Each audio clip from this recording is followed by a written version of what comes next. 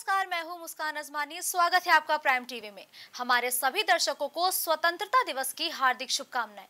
आज़ाद हिंदुस्तान के इतिहास में 1905 से लेकर 1934 तक संतरास वैपलविक आंदोलन के नाम से जाना जाता है।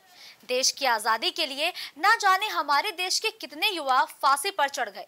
उन्हीं में से एक ऐसा नाम है खुदीराम बोस, जिनका ज़िक्र भले ही ना होता हो। लेकिन देश की आज़ादी के लिए उन्होंने 18 साल की उम्र में फांसी के फंदे को चूम लिया। वो सबसे कम उम्र के उग्र और युवा क्रांतिकारी देशभक्त माने जाते हैं। आज़ादी की गाथा वीरों का बलिदान। देश के लिए जाबाजों ने लगाई जान की बाजी। 18 साल की उम्र में चूम लिया फांसी का फंदा। जिसके साथ किया ऐतिहासिक संवाद। वतन की शान में खुद को किया कुर्बान। वो कहलाए युवा देशभक्त खुदीराम बोस। नौजवानों के कपड़ों पर लिखा खुदीराम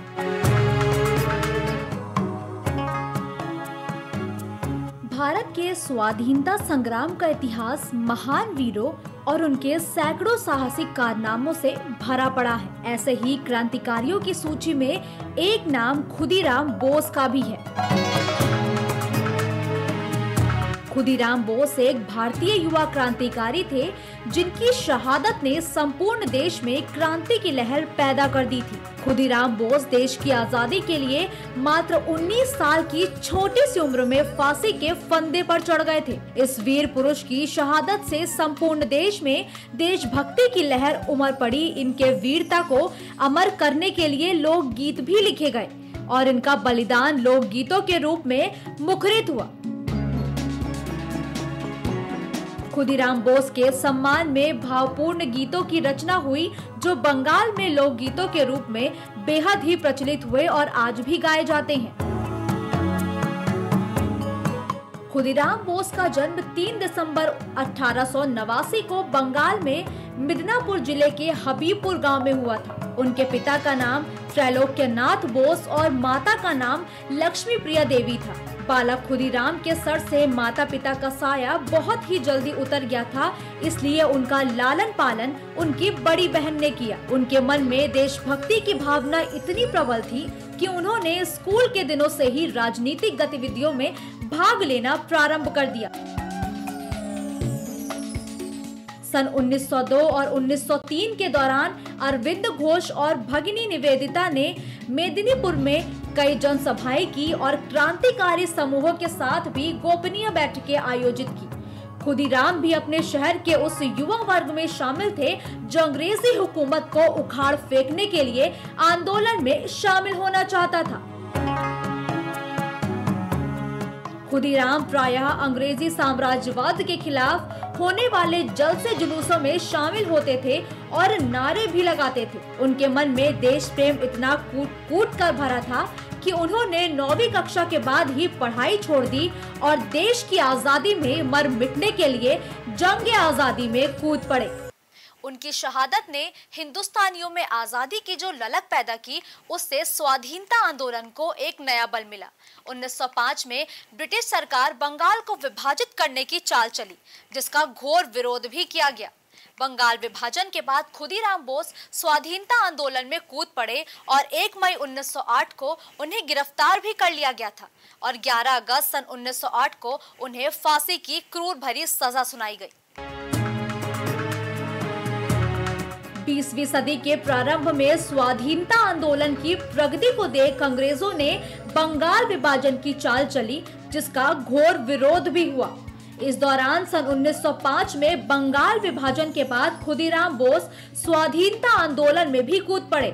उन्होंने अपना क्रांतिकारी जीवन सत्येन बोस के नेतृत्व में शुरू किया।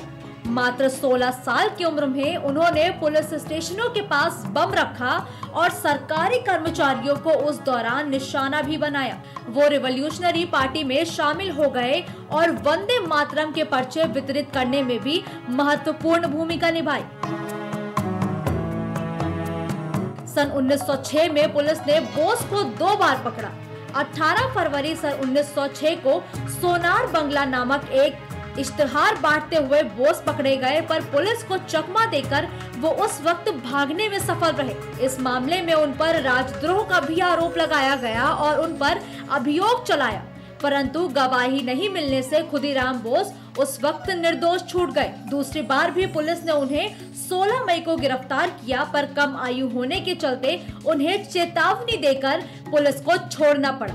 6 दिसंबर 1907 को खुदीराम बोस ने नारायणगढ़ नामक रेलवे स्टेशन पर बंगाल के गवर्नर की विशेष ट्रेन पर हमला किया, परंतु गवर्नर इस हमले में साफ़ साफ़ बच निकला। वर्ष 1908 में उन्होंने वॉटसन और पैम्फाइलर फूलर नामक दो अंग्रेज़ अधिकारियों पर बम से हमला किया, लेकिन किस्मत ने भी उनका साथ दिया और इस हमले में वो दोनों अंग्रेज़ अधिकारी भी बच गए। बंगाल विभाजन के विरोध में लाखों लोग सड़कों पर उतरे और उनमें से अनेकों भारतीयों को उस समय कलकत्ता के मजिस्ट्रेट किंग्सफोर्ड ने क्रूर दंड दिया। वो क्रांतिकारियों को खास तौर पर बहुत दंडित करता था। अंग्रेज़ी हुकूमत ने किंग्सफोर्ड के कार्य से खुश होकर उसकी पदोन्नति भी कर दी और मुजफ्फरपुर ज़िले में सत्र न्यायाधीश बना दिया गया। क्रांतिकारियों ने किंग्सफोर्ड को मारने का निश्चय किया और इस कार्य के लिए चयन हुआ खुदीराम बोस। और प्रफुल्ल कुमार चाकी का। मुजफ्फरपुर पहुँचने के बाद इन दोनों ने किंग्सफोर्ड के बगले और कार्यालय की गहनता से निगरानी की और 30 अप्रैल 1908 को चाकी और बोस बाहर निकले और किंग्सफोर्ड के बंगले के बाहर खड़े होकर उसका इंतज़ार करने लगे। खुदीराम ने अंधेरे में ही आगे वाली बग्गी पर बम फेंका, पर उस बग्गी में किंग्सफोर्ड नहीं, बल्कि दो यूरोपियन महिलाएँ थीं जिनकी इस हमले में मौत हो गई। अफरा तफरी के बीच दोनों वहाँ से नंगे पाँव भाग निकले और भाग भाग कर थक गए। खुदीराम वैनी रेलवे स्टेशन पहुँचे और वहाँ एक चाय वाले से पानी मांगा पर वहाँ मौजूद पुलिस वालों को उन पर शक हो गया और बहुत मशक्कत के बाद दोनों ने खुदी राम बोस को गिरफ़्तार कर लिया। एक मई को उन्हें स्टेशन से मुजफ्फरपुर लाया गया। खुदी राम बोस को गिरफ़्तार कर उन पर मुकदमा चलाया गया और फिर फांसी की सजा भी सुनाई गई। 11 अगस्त सन 1908 को आखिरकार उन्हें फांसी दे दी गई। उस समय उनकी उम्र मात्र 18 साल और कुछ महीने थी। खुदीराम बोस इतने निडर थे कि हाथों में गीता लेकर वो खुशी खुशी फांसी के फंदे पर चढ़ गए। उनकी निडरता, वीरता और शहादत ने उनको इतना लोकप्रिय बना दिया कि बंगाल के जुलाहे एक खास किस्म की धोती बुनने लगे और बंगाल के राष्ट्रवादियों और क्रांतिकारियों के लिए वो अनुकरणीय हो गए। उनकी फांसी के बाद विद्यार्थियों और अन्य लोगों ने शोक मनाया और कई दिन तक स्कूल कॉलेज भी बंगाल में बंद रहे। इन दिनों नौजवानों में ऐसी धोती का प्रचलन हो चला था, जिसकी किनारी पर खुदीराम लिखा होता था। भारत के इतिहास में आज भी खुदीराम बोस को सबसे कम उम्र में देश के लिए बलिदान देने वाले वीरों में से एक कहा जाता है। अपनी छोटी सी उम्र में देश के लिए उन्होंने जो किया, उसकी जितनी तारीफ़ की जाए, वो कम है। उनकी शहादत से समूचे देश में देशभक्ति की लहर उमर पड़ी थी। उनके साहसिक योगदान को अमर करने के लिए कई गीत भी रचे गए और उनका बलिदान आज लोकगीतों के रूप में मुखरित हुआ। उनके सम्मान में भावपूर्ण गीतों की रचना हुई जिन्हें बंगाल के लोक गायक आज भी गाते हैं। आज उनकी पुण्यतिथि पर वीर शहीदों को शत शत नमन करते हैं। आप देखते रहिए प्राइम टीवी। कुछ भाव पुष्प। आप देख रहे